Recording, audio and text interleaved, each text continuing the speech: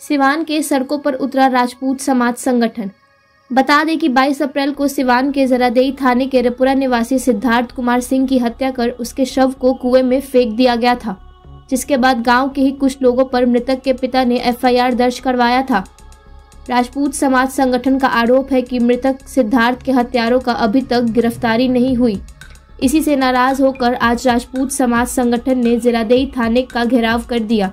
और सड़क पर अगजनी करने लगे। गुस्साए लोगों को थाना के द्वारा जैसे तैसे समझाते हुए हथियारों की गिरफ्तारी का आश्वासन दिया गया है, जिसके बाद वो लोग वहाँ से वापस गए।